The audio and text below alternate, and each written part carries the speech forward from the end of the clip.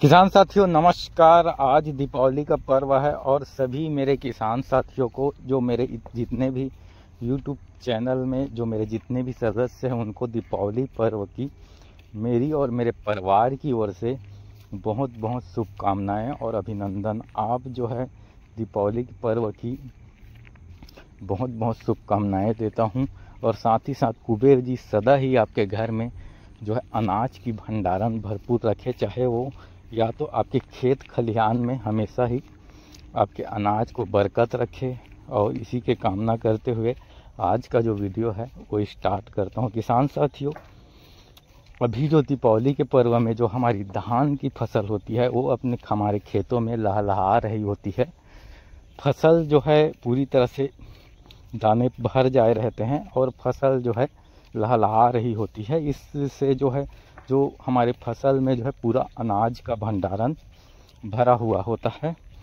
हालाँकि हम जो है फार्मर्स हैं और जो एग्रीकल्चर के बाद जो जितने भी गवर्नमेंट अधिकारी हैं या व्यापारी हैं या बिजनेसमैन हैं, वो लोग जो है अभी दीपावली के पर्व में जो है नए नए कपड़े लेते हैं, घर को सजाते हैं। लेकिन मुझे इस बात की खेद है कि हम फार्मर्स ये काम नहीं कर पाते, क्योंकि हमारे पास जो है अभी आमदनी नहीं रहता क्योंकि हमारा फ़सल जो है अभी कटाई नहीं हुई रहती। हमारा अनाज जो है अभी खेतों में ही रहता है। तो हम उन फ़सलों को ही देख के संतुष्ट रहते हैं। और जो हमारे साल भर में जो किए गए इनकम है, उसको बचा के हम लोग पूरे साल को निकालते हैं। क्योंकि जो फार्मर्स रहते हैं, जो केवल खेती करते हैं तो उनका आमदनी का और कोई इनकम का सोर्स नहीं रहता। वो फ़सल कटाई करके ही जो है उनका इनकम प्राप्त होता है और जैसी फ़सल कटाई होती है, उनके पास जो है उसका रकम आता है, उनका इनकम आता है। वही जो है उनका एक, जो घर दिनचर्या चलाने का एक जो है स्रोत होता है। हालाँकि किसान के पास भी कभी भी कोई भी चीज़ की कमी नहीं होती, क्योंकि वो लोग एकदम मैनेज करके जो है अपना मेंटेनेंस चलाते हैं। तो किसान साथियों, आज जो है एमएसपी पे बात करेंगे।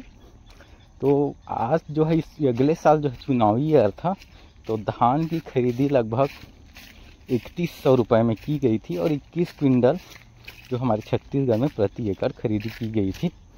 तो इस साल भी जो है इक्कीस क्विंटल धान की खरीदी की जाएगी और साथ ही साथ जो है इकतीस सौ के भाव में हमको जो है पैसा मिला जाएगा जो एम एस पैसा। तो इसी के हिसाब से हमको प्रति एकड़ लगभग पैंसठ सौ सौ पैंसठ हज़ार सौ रुपये की इनकम होगी, जो एक बहुत अच्छा रकम होता है एक किसान के लिए, एक धान की खेती करने वाले के लिए। तो आशा करता हूँ कि अब जो है अपने धान की प्रोडक्शन जो छत्तीसगढ़ के किसान हैं वो 21 क्विंटल से आपका अधिक प्रोडक्शन लें। कुबेर महाराज जो है आपको इतना प्रोडक्शन दिलाए कि आपको 21 क्विंटल से अधिक प्रोडक्शन हो, और साथ ही साथ जो है आपका जो है धान अच्छे रेट पर जाए, आपकी फ़सल जो है, आप चाहे कोई भी फ़सल करें, उसकी एक अच्छा इनकम आपको मिले। इसी के साथ आज का वीडियो ख़त्म करता हूँ। फ़िलहाल आज के वीडियो में बस इतना ही। वीडियो में अंत तक बने रहने के लिए आपका बहुत बहुत धन्यवाद और ला